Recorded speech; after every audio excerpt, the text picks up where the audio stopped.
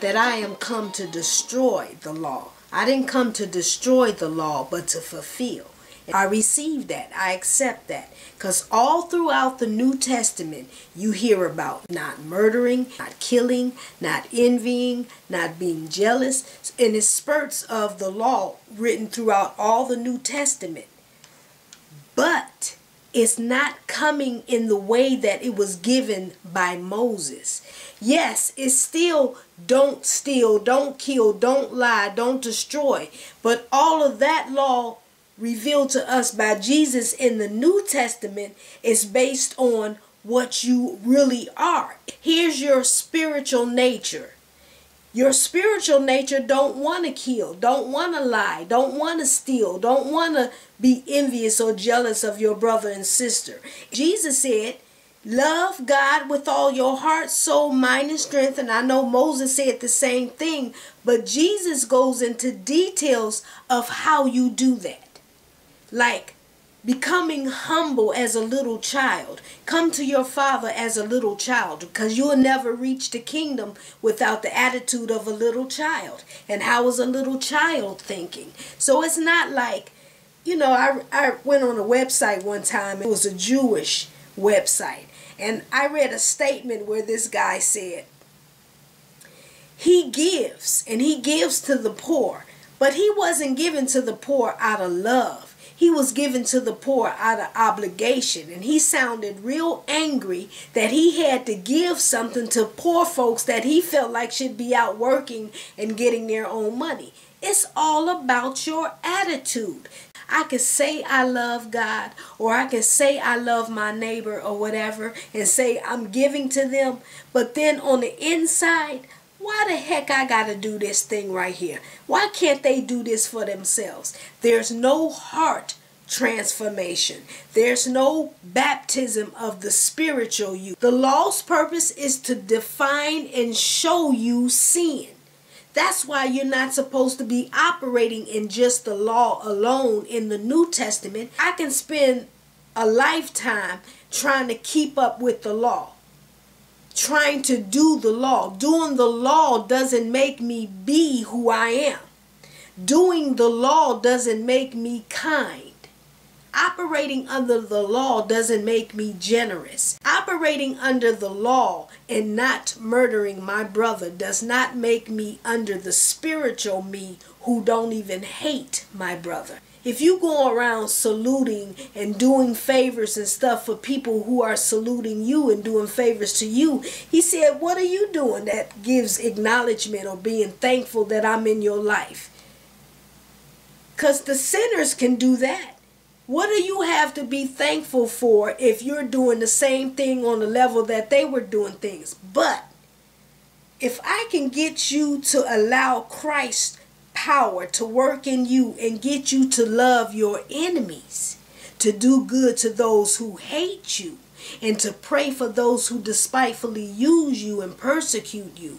Now you have a reason to be thankful because sinners can't do that. Anyone who see themselves as a sinner, they cannot accomplish that.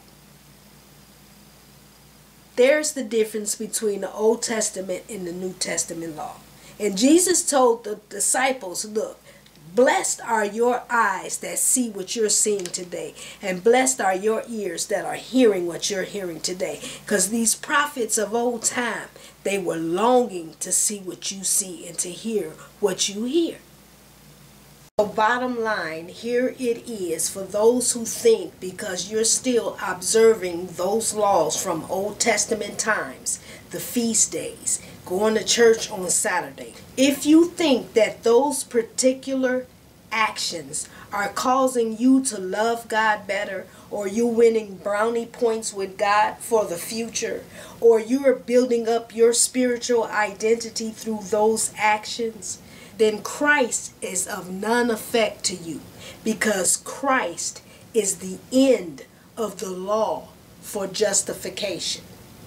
Now, if you want to do those things because you're in the habit of doing them and this is what you've been doing all your life, it's not a sin to do those things.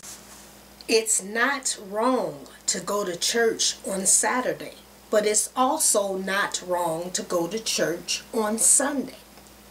You have to accept that. I still don't eat pork because when you've been brought up in this all your life, I wasn't eating pork as a child. Why would I just all of a sudden start eating pork? Now, there are certain things that I've tasted, like I might have always wanted to taste some ham. No offense, I'm not trying to offend you.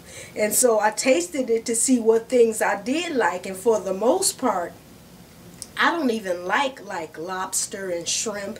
I don't even like those foods. Now, as far as the holidays, you know, right now, to this day, I've never really celebrated Christmas because, again, all my life, I never celebrated it. So there's no reason for me to start now. But my children, I've allowed them to choose. Of course, they chose to celebrate it. it was funny. But there's no conviction on me that I'm t- I'm allowing them to do something that's breaking God's law. You can't take the law and beat it over somebody's head. That's using the law illegally. The law still maintains its same effect, and that is to give the knowledge of sin. So when someone think I don't need God, I don't need Christ, I can do all this myself, then that person needs to be pointed out. Here's the law. And the law will convict them and show them their sin. But if you leave them there and you don't bring them to Christ, which is the end of the law, then you have failed that person. If you think taking them to church on Saturday and you keeping these feast days and you observing or not observing particular days that that is going to cause that individual to grow up in love you're mistaken. That's not the way that the law is supposed to work. I'm glad to be free of that aspect of the law I'm glad I can get convicted and go right over to Jesus and get that up off of me and turn and do what I'm supposed to do immediately. I don't have to wait for once a year for the Day of Atonement to come to get my sins forgiven. My sins are forgiven daily as I make the mistake and as I repent daily, hour upon hour, minute upon minute. That's why the disciples asked him, Lord, how many times shall we forgive our brother? Well, if God commanded that you forgive your brother 70 times 7 a day, and he was just giving an example because since you want a number thrown out, well, is God's mercy and forgiveness less than man's? Than what he commands man to give to each other? Come on. It's just not all making sense. You know, being born again or quote, born from up above, allowed me to keep the law better than I was ever able to keep the law by observing the law and trying to keep it deliberately. And my point is just this. Today, we have so much to learn about what Christ has taught us we can do because of the kingdom being in us and Christ being in us to let us know who we really are, to show us our true identities. Paul said this is a mystery today. He said, I'm going to give you a key of a mystery. Christ in you, the hope of glory. That's the secret. Christ in you, not you outside observing this. Christ in you, the hope of glory. Take care.